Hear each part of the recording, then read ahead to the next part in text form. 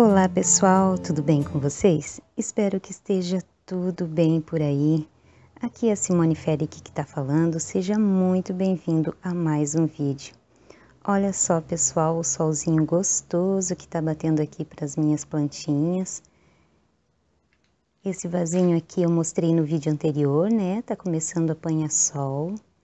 Essa menina aqui é um enigma para mim, eu ainda não consegui descobrir que plantinha que é.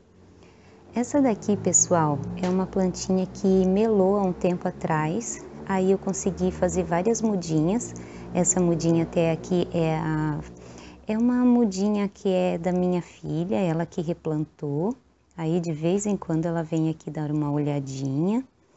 E aqui, pessoal, aqui é a minha patinha de urso. Eu queria dar uma dica só, que é dessa plantinha aqui que ela tem adorado que é isso aqui que vocês estão vendo, que é o sol, pessoal. Ela adora o sol, gente.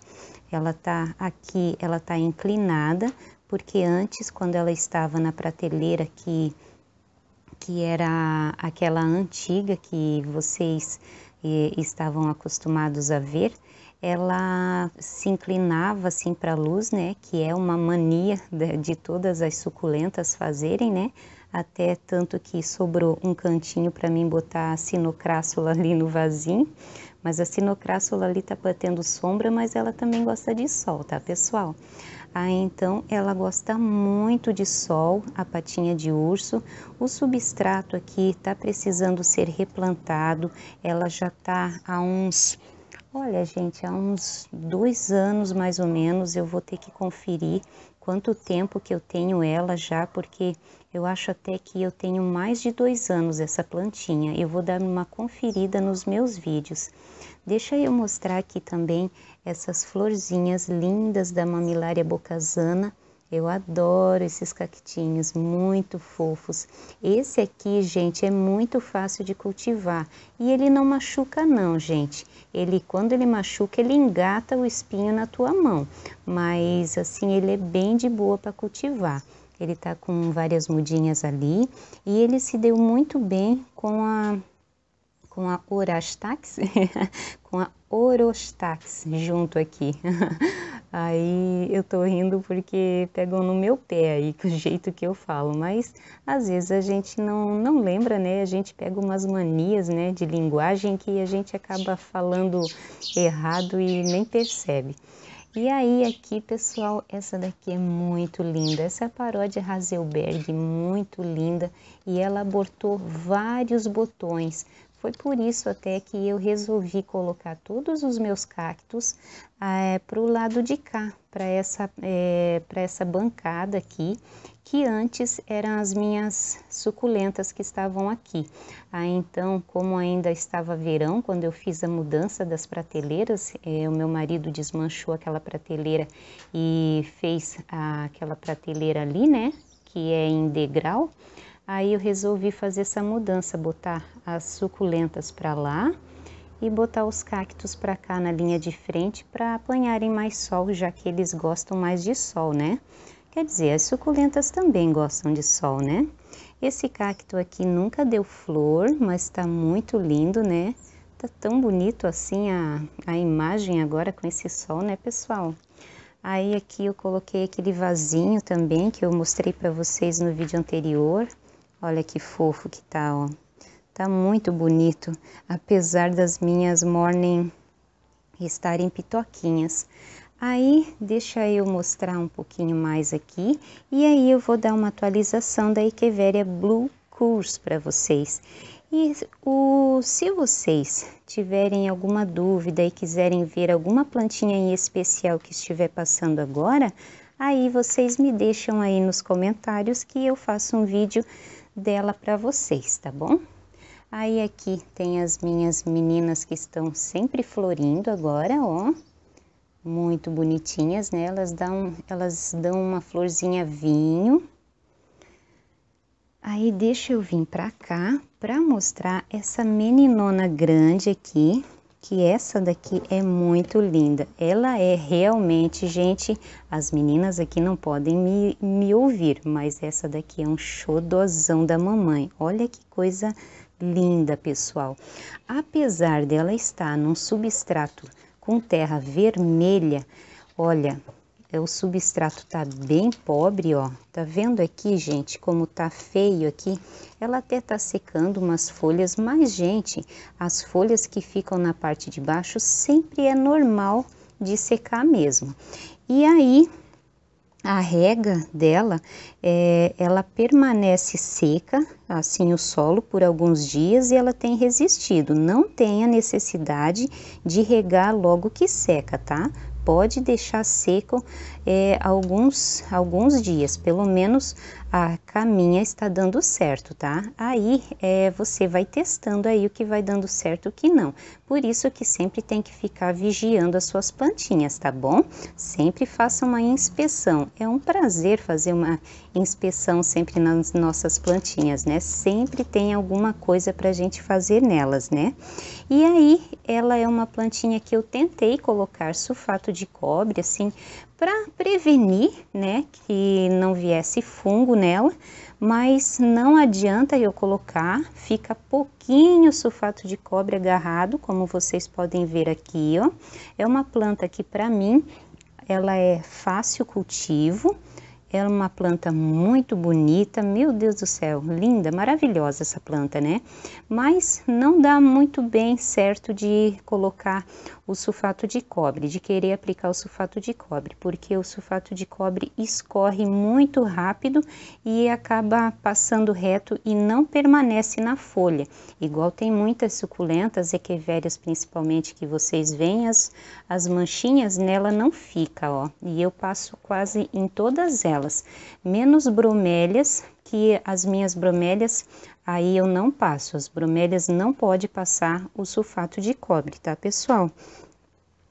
E, e aí a rega é super fácil e como eu já falei, e aqui ela tá já há dois anos, essa menina aqui, é, dois anos já que fazem que ela está aqui e ela deu a primeira mudinha Ó, ela, a mudinha até quando ela começou a surgir, ela estava bem compacta aqui no vaso.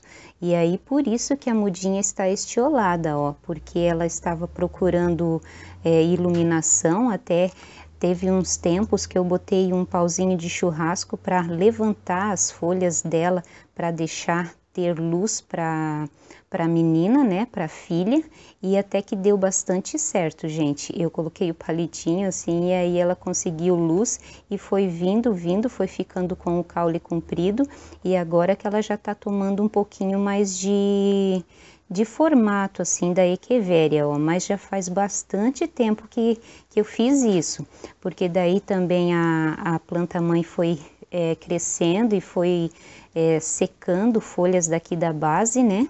Então, é, mais um tempo, mais alguns meses, talvez eu possa tirar essa mudinha aqui. Ela deu também haste floral, só que aí, pessoal, é, eu pensei que não era haste, eu pensei que era muda, e aí eu acabei cortando ali, ó pessoal, não deveria ter cortado, devia ter, ter esperado, né, mas eu pensei que era muda, eu queria muito mais mudas dela, eu, eu acho essa planta assim magnífica, então a, a afobação para ter, ter mais muda dessa daqui, acabei cortando a haste que era na verdade uma haste floral, pensando que era muda. E eu até tenho ela ali no, no ladinho, eu tenho guardada e depois eu mostro para vocês uma foto no final do vídeo, tá bom? E ela é uma planta fácil de cultivar, bonita, ela fica com as bordas vermelhas aqui, esse, essa bordadura dela que fica magnífica.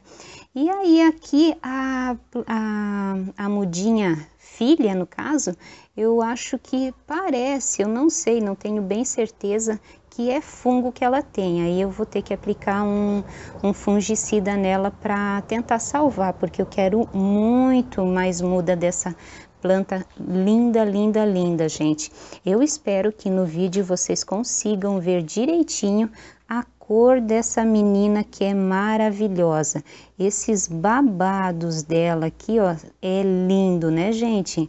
Essa essa menina aqui, vocês podem ver vídeo no canal, eu vou deixar linkado aqui o vídeo de quando eu fiz a visita no local onde eu fiz a compra, no vendedor, e também vou deixar linkado aqui o link aqui em cima para é, mostrar quando eu comprei eu acho que eu devo ter feito vídeo de comprinha, então eu vou é, mostrar para vocês. Aí se vocês depois desse vídeo quiserem ver como ela era antes, porque ela era bem pequetita, bem bonita.